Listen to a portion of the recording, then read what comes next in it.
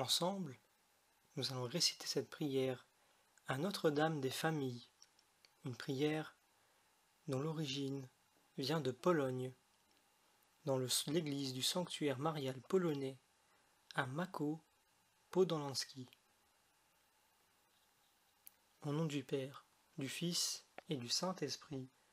Amen. Mère de la Sainte Église, Mère des familles, à l'exemple de nos pères qui t'ont vénéré depuis longtemps, dans ton sanctuaire de Mako, nos familles se consacrent à ton cœur immaculé. Prends-nous et obtiens-nous de ton Fils la bénédiction pour chaque jour de notre vie, dans la joie comme dans la croix.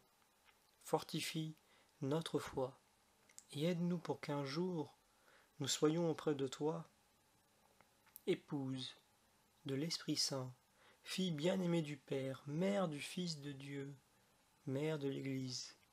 Aide-nous à rester unis à ton cœur immaculé, maintenant et toujours. Amen.